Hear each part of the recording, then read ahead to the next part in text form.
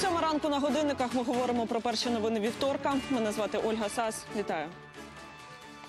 Дії патрульних поліцейських, які випадково поцілили в дитину на Київщині, перекваліфікують за статтею Умисне вбивство. Про це повідомив генпрокурор Юрій Луценко. Нагадаю, трагедія сталася 31 травня в Переяславі Хмельницькому. За версією слідства, двоє нетверезих копів стріляли по мішенях у дворі, і одна куля випадково влучила в п'ятирічного Кирилка, який грався неподалік. За життя дитини медики боролися кілька днів, але поранення в голову виявилося надто тяжким. Учора малюк помер. Підозрюваних затримали, і сьогодні суд має обрати їм запобіжний захід. Очільник Нацполіції Київщини Дмитро Ценов уже подав рапорт про відставку. У Дніпрі семирічний хлопчик завдав собі серйозного поранення. Нещастя сталося, коли він гостював у знайомих. Парубійко знайшов газовий пістолет, вирішив стрельнути і поцілив собі в руку. Хірурги ампутували йому частину пальця. Родичі потерпілого відмовилися від коментарів. Медики запевняють, з дитиною все гаразд і до кінця тижня планують виписати хлопчика з лікарні. Полностью отстрел пальчика. Да там, что удалось, сформировали пальчик, сохранили по возможности, да. Чувствует он сегодня себя более в состоянии ближе к среднему, да, э, самочувствие. Ну, в принципе, наверное, скоро на этой неделе выпишем его домой.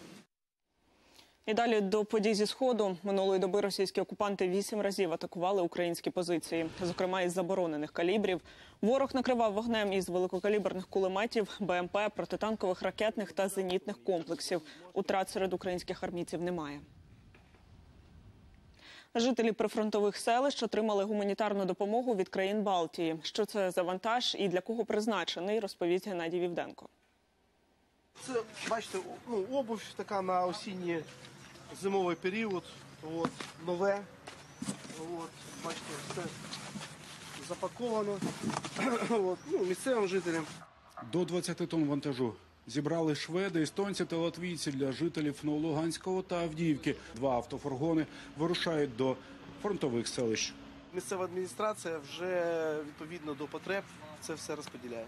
Із 2015 року громадяни Балтійських країн збирають для постраждалих від війни українців гуманітарну допомогу. Нинішній вантаж сягає до 20 тонн завважки, а його вартість десятки тисяч євро. Здесь сегодня приехало больше э, э, э,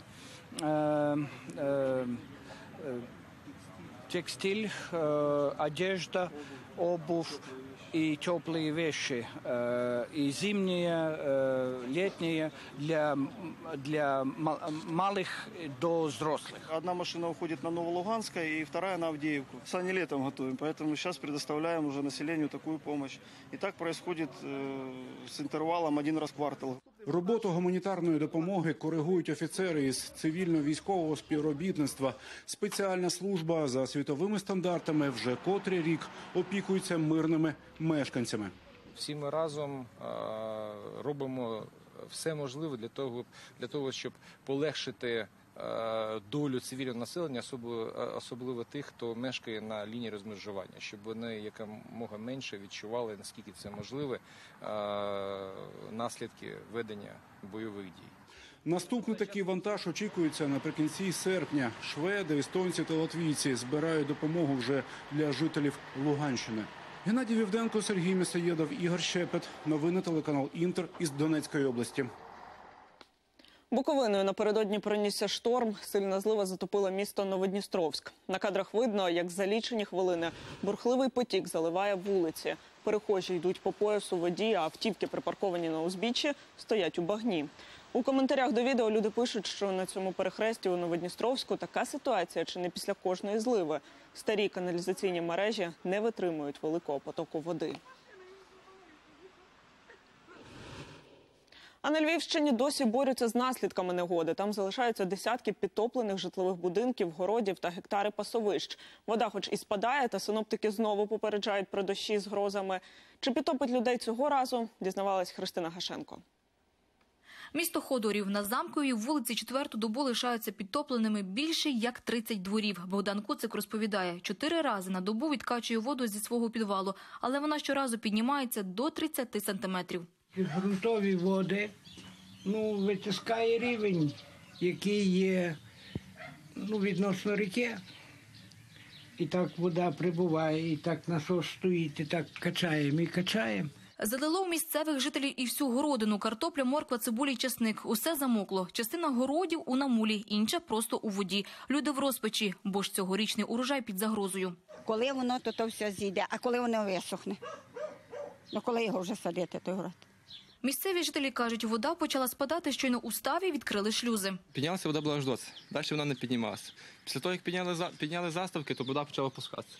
Ну от кожного дня вона опускалася по, по 3 метри, по 3 метри вже вода доти дійшла. Шлюзи у водомі відкритими протримають ще дві доби. Планують у міськраді. Потім їх закриють. А коли все підсохне, підрахують збитки. Як компенсувати людям знищене негодою, посадовці поки що не знають.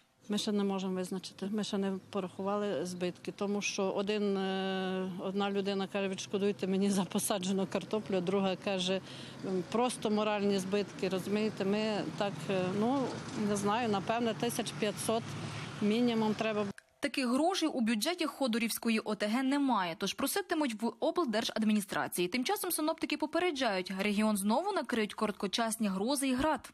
Вітер ми очікуємо східний та південно-східний 5-10. При грозах е, можливі шквал посилення вітру до 15-20 метрів на секунду.